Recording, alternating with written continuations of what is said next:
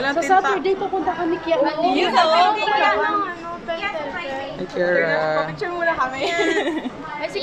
How's the the the segment today? Nakaka I had so much fun! First time singing. Should I wear, should I ano? Yep. Ah, hold. How's your your guesting today promoting your new single? super happy, super exciting. Tsaka, syempre first time ko talaga to na parang kakanta on TV, 'di ba? So, saya. Tapos kasama ko pa si Chantel, kaya sobrang exciting. Tsaka sana magustuhan nilang lahat yung ano, yung song na to. Anong feeling na ano na natutupad mo na yung, yung, yung dreams mo? Surreal. Surreal talaga, sobra.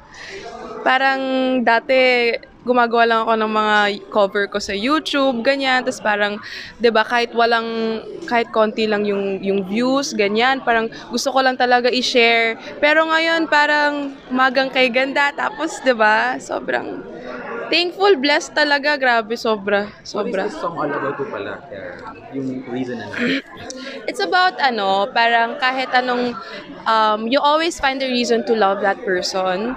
And kahit mawalan ka na ng, ng um, kahit ang daming um, rason para hindi maging kayo, at the end of the day, uh, meron pa rin talagang reason enough na alam mong paglalaban mo kasi mahal mo talaga tao. Last lang po, invite lang them to to join you sa mall shows to promote the new single Yes, and other events po. oo. Um, punta kayo sa Saturday kasama ang lead, Gino and Diana. Yan, super exciting at sana nandun din po kayo.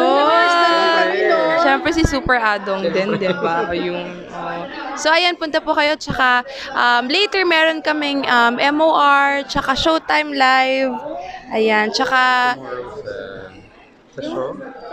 Sa show tomorrow. Sa show pa kaya. Sa Star Mall. Bukas yata, bukas lang. yes! Oo, Star Mall! Tapos mamaya sa Roar, di ba, nandun ka rin?